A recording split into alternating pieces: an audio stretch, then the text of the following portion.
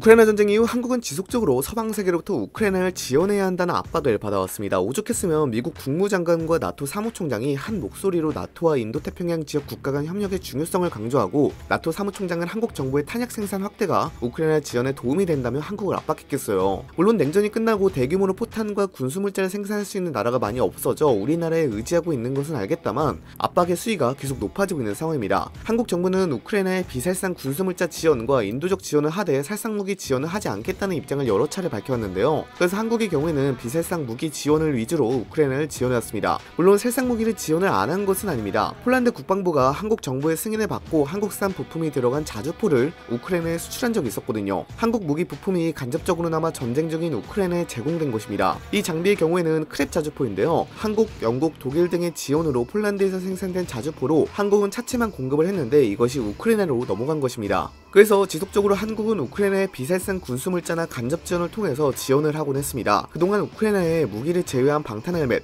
천막, 모포 등 군수물자와 의료물자, 인도적 지원을 제공했지만 살상 무기는 지원할 수 없다는 입장을 지속적으로 밝혀왔죠. 심지어 한국이 얼마나 많은 지원을 했는지 우크라이나 지원에서 한국이 일본보다 더 적극적이라는 분석도 나왔는데요. 영국 텔레그래프지가 러시아 침공 이후 57개국이 우크라이나 지원 정도를 평가한 결과에서 한국은 일본보다 점수가 높게 나왔습니다. 이는 전체 27위에 해당하는 순이었고요. 한국이 생각보다 우크라이나를 지원하는 것이 적극적이었다는 분석 자료였습니다. 근데 우크라이나를 더 적극적으로 지원하라는 서방 세계 압박은 더 심해질 것으로 풀이가 됩니다. 심지어 미국의 경우에는 한국의 살상무기 지원을 언제 하는지 알기 위해 한국을 포함한 동맹국 동향을 감청해온 정황이 확인되었습니다. 그래서 오늘은 우크라이나 전쟁의 한국 지원과 미국의 한국 감청에 대해서 한번 알아보고자 합니다. 최근에 한 기밀 문건이 유출이 되었습니다. 이 기밀 문건의 경우에는 디스코드와 마인크래프트 디스코드 채널, 텔레그램, 4chan 위주로 퍼지게 되었는데요. 이 기밀 문건의 유출은 인터넷상에서 우크라이나 전쟁 관련으로 채팅으로 싸우다가 기밀 문건 접근이 가능한 어떤 한 사람에 의해서 유출이 되었다고 합니다. 사진 형태로 유포가 되었는데 요. 알려진 것만 총 100여 쪽에 이르는 문건이었습니다. 미국 NSA, CIA, 미 국무부 정보조사국 등 정부 정보기관 보고서를 미 합동참모본부가 취합해 작성한 것이었죠. 일부 기밀 문서에는 외국과 공유하지 않는 기밀이라는 의미인 secret이나 NOFORN이라는 표시가 되어 있기도 했습니다. 심지어 영어권 정보 공유 동맹인 Five Eyes 국가들과도 공유하지 않는 매우 높은 수준의 기밀 정보였죠. 유출된 문건은 우크라이나 전쟁 관련이 가장 많았는데요. 러시아군과 우크라이나군 양측 전사자 분석, 주요 전선 현황, 4월 중순까지의 무기 지원 일정, 부대 및 대대 전력 분석 및 훈련 계획 등이 상세히 적혀 있었습니다. 특히 3월 1일 작성된 문건에서는 양측 전사자 규모가 드러나는데요. 지금까지는 전사자와 부상자를 합친 사상자 수가 공개되어 왔습니다. 근데 이 문건에 의하면 2023년 2월 28일 기준으로 러시아군 전사자는 35,500명에서 최대 43,500명으로 우크라이나군 전사자보다 2배가 넘는 수치를 기록했습니다. 우크라이나군은 전사자가 1만 6천명에서 최대 1만 7,500명 정도였죠. 영국의 벤 월러스 국방장관이 2월 23일 날 러시아군 사상자가 18만 8천명이라고 밝혔는데 출된 문건에서 도 러시아군 사상자 규모를 18만 9,500명에서 22만 3천명으로 보고 있어서 월러스 영국 국방장관이 밝힌 숫자와 비슷한 수치였습니다. 물론 우크라이나도 피해가 막심했는데 우크라이나의 사상자 수도 12만 4,500명에서 13만 1000명으로 추정되었습니다. 또한 문건에서는 미국과 나토, 우크라이나에서의 전투력 구축 일정도 드러나 있었는데요. 일단 미국과 나토는 우크라이나 9개 여단을 훈련 및 무장시켰습니다. 그리고 3월 30일까지 6개 전투여단, 4월 30일까지 3개 전투여단 전쟁 준비 계획을 세웠습니다. 문건대로라면 우크라이나는 현재 독립적으로 12개 전투여단을 추가 훈련시키고 있었습니다. 그리고 전투 장비 지원에 대한 일정도 적혀 있었는데요. 82여단은 스트라이커 장갑차 90대, 마르더 장갑차 40대, M113 병력 수송 장갑차 24대, 챌린저 전차 14대 등 모두 150대를 갖출 것이라고 세세하게 적혀 있었고요. 33여단도 이와 비슷하게 독일, 캐나다, 폴란드에서 온 레오파드 전차 32대와 미국제 MRAP 90대 등을 받는다고 적혀 있었습니다. 그리고 위치가 거의 공개되지 않았던 항공모함이나 잠수함들의 위치도 적혀 있었죠. 바무트와 하르키우는 우크라이나군과 러시아군의 병력 이 얼마나 포진되어 있고 어느 방향으로 진격하는지 상세한 전황도 표시가 되어 있었습니다. 문건 가운데는 우크라이나 정부 요원들이 벨라루스에 있는 러시아 항공기를 공격했다는 의혹이 반영된 업데이트된 전장 상황도 있었죠. 또한 우크라이나에 지원하는 탄약과 방공 관련 무기가 부족하다는 사실도 유출된 문건을 통해 드러났는데요. 이 문서에는 우크라이나의 S-300 지대공 미사일이나 하이마스의 소진율과 고갈 시점 등 민감한 정보도 구체적으로 명시되어 있었고 서방 세계 방공 무기 지원 일정도 적혀 있었습니다. 상당히 민감한 내용들이 다소 적혀 있었고 이것이 또 그대로 사실이었기 때문에 때문에 미국은 당혹감을 감추지 못한 모습인데요. 우크라이나는 이러한 기밀 문건 유출 이후 작전 계획의 일부를 변경했다고 밝히기도 했습니다. 우리나라의 경우에도 이 문건이 포함되어 있었습니다. 유출된 문건에서는 한국 정부가 미국으로부터 포탄 제공 요청을 받고 해당 판매분이 우크라이나에서 사용될 것을 우려한다는 내용도 포함되었는데요. 미국은 이러한 정보를 도감청을 통해 확보한 것으로 나타났습니다. 뉴욕타임즈의 보도에 따르면 유출된 문건 중 미 국방부 문서에는 이문희 전 외교 비서관이 김성한 전 국가안보 실장에게 미국의 탄약 제공 요청에 응한다면 미국이 최종 사용자가 되지 않을 것이라는 우려 상황에 정부가 빠진 상태라고 말했다고 합니다. 이 최종 사용자는 미국이 아니라 우크라이나를 의미하는데요. 이에 한국이 미국의 압력과 전쟁 중인 국가에 치명적인 무기를 제공하지 않는다는 공식 입장 사이에서 갈등하고 있음을 보여주고 있었습니다. 또한 이 도감청은 전화 및 전자 메시지를 도청하여 확보했다는 표현도 문건에 적혀 있었습니다. 또한 워싱턴 포스트의 보도에 따르면 유출된 문건에 2023년 3월 초 한국의 국가안전보장회의가 우크라이나에 포탄을 제공하라는 미국의 요구에 고심했다라고 적혀 있었으며 신호 정보를 이용하여 한국의 국가안보실장이 서방 무기의 주요 통 로인 폴란드에 포탄을 판매하자는 방안을 제의했다는 내용도 있다고 보도하기도 했습니다. 이 문건은 시사하는 바가 매우 많습니다. 일단 한국의 외교, 안보 사령탑이 전부 다 미국에 의해 도감청이 되었고요. 정보 수집의 장소가 미국 본토가 아니라 한국 국내로 보인다는 점에서 한미 간의 외교 갈등이 더 격화될 것으로 풀이가 되고 있습니다. 대한민국 대통령실은 제기된 문제에 대해 미국 측과 필요한 협의를 할 예정이라고 밝혔는데요. 한미 정상회담을 코앞에 두고 동맹의 악재가 될 수 있다는 우려가 나오고 있는 가운데 한미 간의 외교 갈등이 어떻게 이어질지는 더 지켜봐야 할 것 같습니다. 그리고 문제는 도감청한 국가가 한국만 있는 게 아니라 이스라엘, 영국 관련 상황 등에 대해서도 도감청을 한 것으로 파악이 되었기 때문에 미국은 그야말로 좌불안석인 상황입니다. 이스라엘의 경우에는 이스라엘 첩보기관인 모사드의 고위 지도자들이 이스라엘 정부의 사법개혁에 반대하는 모사드 관리들과 시민들을 옹호했으며 일부는 정부를 비난하는 행동을 노골적으로 요구했다는 사실을 파악했다고도 명시되어 있었습니다. 미국이 중동에서 가장 가까운 동맹국에 대한 사회 활동을 한 것도 큰 문제인데 국내 문제에 개입이 금지되어 있는 모사드가 정치에 직접적으로 개입했다는 것이 확인되어 이스라엘에서의 시위 문제도 크게 커질 전망입니다. 그 외에도 중국, 중동, 인도 태평양 지역 관련 정보도 포함되어 있었고 중국이 요르단에 외교적 압력을 넣었다는 내용에 대한 미국 정부의 평가도 담겨져 있어서 이 문건에서 언급된 나라가 한두 개가 아닌지라 미국은 그야말로 자불안석인 상황입니다. 현재 한국 정부에서는 이러한 상황을 파악하기 위해서 김태호 국가안보실 1차장을 미국으로 보낸다고 하는데요. 양국이 상황 정리가 끝나면 미국 측이 합당한 조치를 요구할 것이라고 말하기도 했습니다. 물론 이 문제가 작은 이슈로 끝이 날 것 같진 않습니다. 이미 국회에서는 야당을 중심으로 주권 침해라며 반발하고 있는 상황 이고요. 또한 외교 안보 라인의 사령탑이 도감청이 되었는데 이게 어떤 방식으로 도감청이 되었고 또 어떻게 해서 뚫렸는지도 살펴봐야 합니다. 당연히 이러한 과정 속에서는 보안이 뚫렸기 때문에 관련 책임자가 책임을 져야 하는 상황도 발생할 수도 있고요. 사실 미국이 이렇게 전 세계를 대상으로 도감청을 한 것은 이번이 처음이 아닙니다. 가장 대표적으로 에드워드 스노든의 NSA 기밀 자료 폭로 사건이 그 예시죠. 스노든이라는 NSA 요원이 가디언지와 워싱턴 포스트를 통해 미국 NSA와 영국 GCHQ 등의 정부 기관들이 전 세계 일반인들의 통화 기록과 인터넷 사용 정보 들의 개인 정보를 프리즘이라는 비밀 정보 수집 프로그램을 통해 무차별적으로 수집, 사찰해온 사실을 폭로한 사건인데요. 심지어 미국 주재 38개국의 대사관들도 도감청한 사실도 폭로했고 한국도 도청을 한 사실이 폭로되기도 했습니다. 그렇다 보니 한동안 미국은 이를 해명하기 위해 외교적 노력을 많이 가했는데요. 이번에 또 이런 사건이 터져서 안 그래도 미국의 영향력이 감소되고 있는 상황 속에서 더 미국의 영향력이 감소될 수도 있다는 분석도 있습니다. 어찌됐건 이 도감청의 경우에는 미국이 불법적으로 한국을 도감청한 사실이 밝혀진 것이기 때문에 명명백백하게 밝히고 사과를 받아야 할 것은 받고 또 얻어야 할 것은 얻어야 하지 않을까 싶습니다. 미국이 매번 도감청을 한다고 해서 그냥 그러려니 하고 넘어가는 건 호구죠. 여러분들은 이번 기밀문건 유출에 대해서 어떻게 생각하시나요? 댓글로도 달아주시기 바랍니다. 이상 영상 마치도록 하겠습니다. 빠이염!